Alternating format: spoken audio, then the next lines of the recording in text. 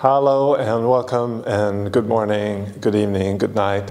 Uh, we have a nice, great day with workouts again. Uh, and today we're going to do handstand. We're going to practice on our handstands being inverted. Um, for you that have problems being on a handstand, no problem. We're going to look at what you're going to be able to do today too. And uh, we're going to start with a small uh, warm up for our shoulders. So I want you to start with 20 shoulder rotations, backwards, forwards, and then we're gonna go a bit into different extensions. So you're gonna pull your arms forward, rotate them out, contract back in, do that 10 times, and then you go out to, to the sides, one palm up, one down, and we're gonna reach out as far as we can, and we're gonna turn our head as we go like that and see a bit how you feel like in your shoulders. You can check your, your shoulder mobility a bit for today by putting your back flat to the wall. Uh, you don't want to have any space behind yourself here.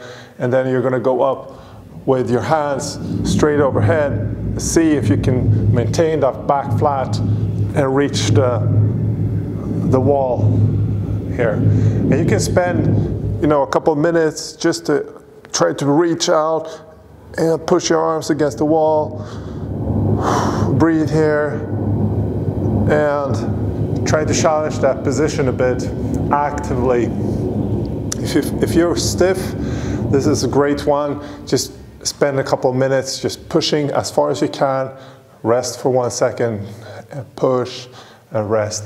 And you do that a couple of times. Um, then we're going to go into the first part today, which is a, uh, practicing a handstand, a freestanding handstand. And what we want to achieve is as much control as possible. This is also going to uh, be necessary to have good shoulder mobility. Uh, but just uh, let's have a look at what you can do uh, to start with if you can't do a handstand today. So what you're going to do is the following. You're going to grab a chair or a box and you're going to put your feet on top of the box or the chair and you're going to do a maximum hold like that.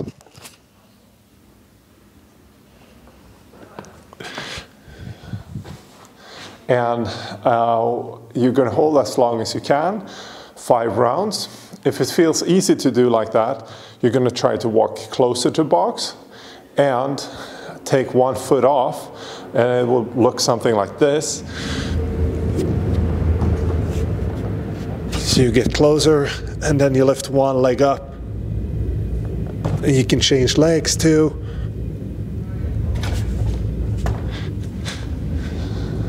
And challenge yourself.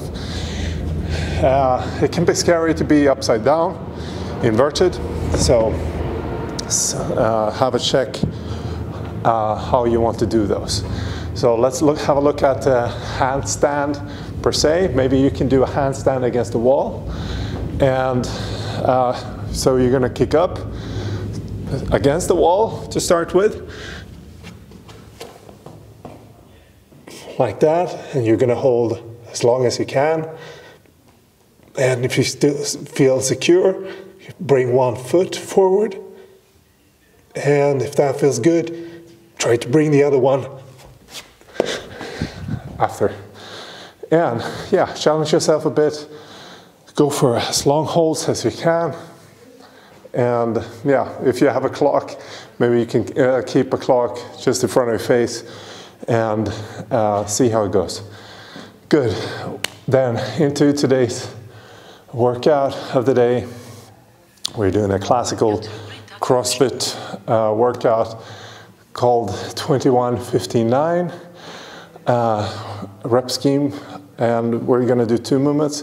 We're going to do, do a burpee tuck jump and push-ups.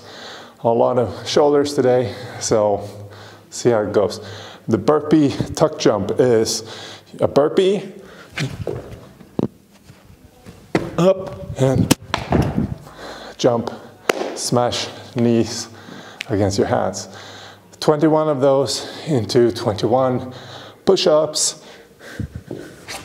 So in the push-up, we want to keep body straight, chest to the ground, and come up.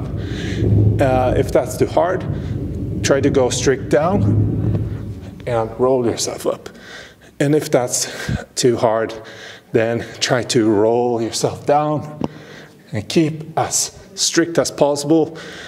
Very important, you keep your, your butt tight and your core tight when you do those. I would mitigate to do push-ups on my knees for a workout like this. And I, I usually mitigate to do a push-up on my knees anyways. And we can go through that too. Why, why don't we want to do push-ups on our knees?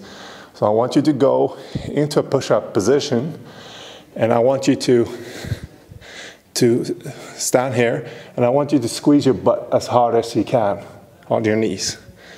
And then you're gonna go up on your toes, squeeze your butt, and now on your knees, squeeze your butt, and try that a couple of times.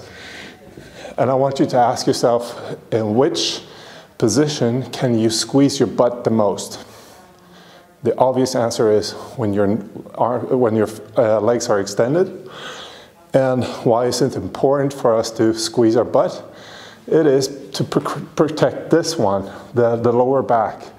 So for many of you out there that have back problems and so on, you need to get your butt really strong. The push-up is not only about the shoulders, it is about your butt getting stronger too your core getting stronger too. So don't miss out on that important part where you actually get a really strong butt, good looking, you can become a model and everything, you know, that comes with it. No, but we just want to get rid of the back pain, whatever it is, and obviously it's going to transfer into other movements too. So good luck with the workout. I think it's a short one, uh, maybe under five minutes. Yeah, hopefully. Okay, good luck. See you next time. Bye.